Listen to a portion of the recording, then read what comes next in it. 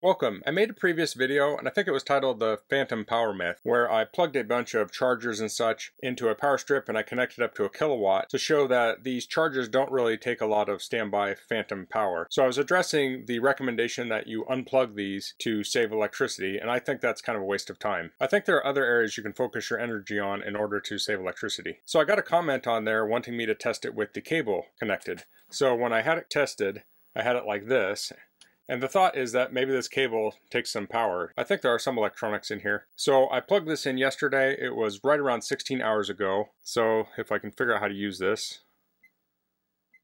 Okay, so we, it's 16 hours, 9 minutes ago. And right now we're drawing 120 volts, 0 amps, 0 watts, 0 volt amps, 60 hertz. Power factor is 1.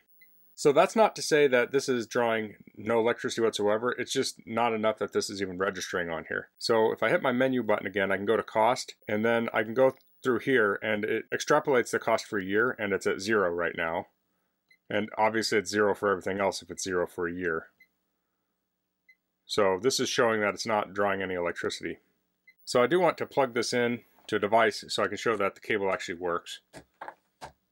So now if I go down here, it's drawing 0.9 amps, 6.5 watts, 10.9 volt amps.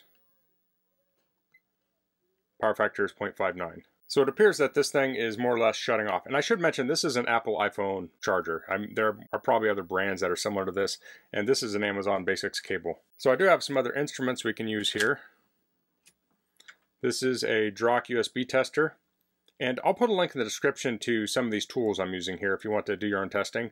That being said, I have this equipment, so if you want something tested, drop a comment below and I might be able to test it for a video. Like if you want to know how much a refrigerator uses or some appliance or something like that. I could put that on my list of things to maybe test in a video.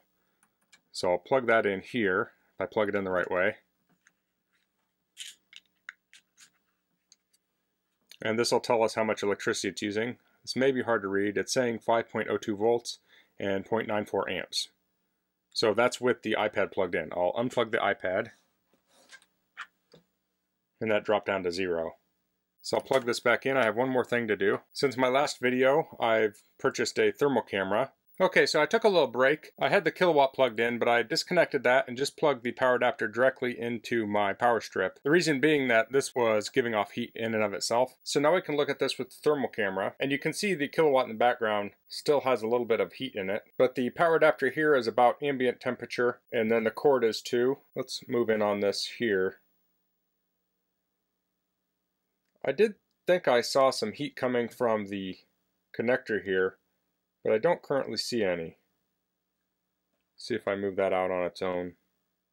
You can see how this really picks up heat. So it looks like there could be some heat there.